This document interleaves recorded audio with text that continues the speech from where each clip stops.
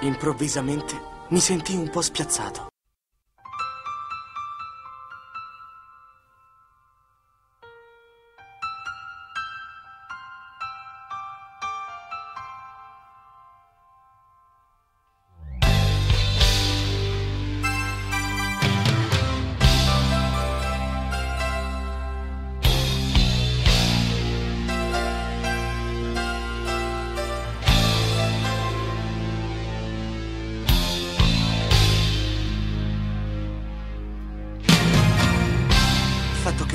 Avessimo un segreto in comune mi dava la sensazione di essere entrato, anche se solo un po', nella vita privata della misteriosa Ayukawa.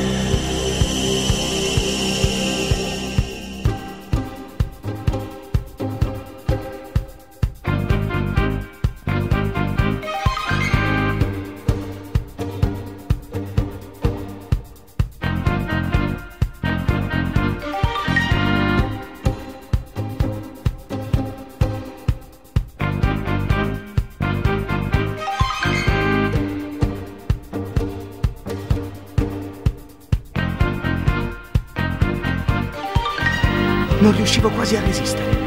Cominciavo a desiderare di poter restare così, solo con lei per sempre.